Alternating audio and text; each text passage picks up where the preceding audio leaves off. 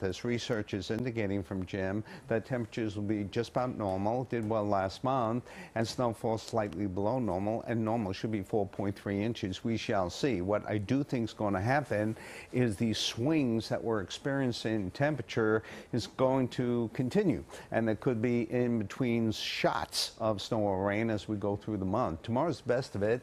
This is really a mild day to pick. Again, temperature is going to be in the 50s, uh, a couple clouds drifting on in let's go to work on this. Now, you see scattered showers in Pennsylvania.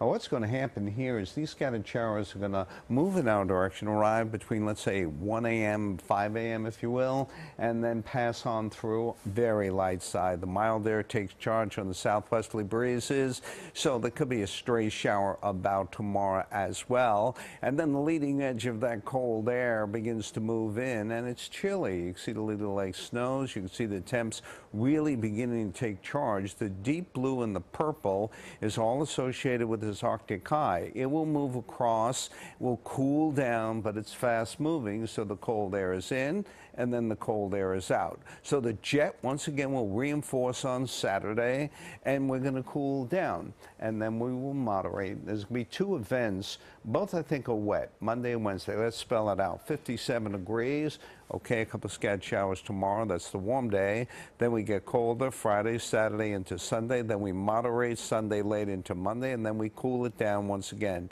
But no major storms right through Monday.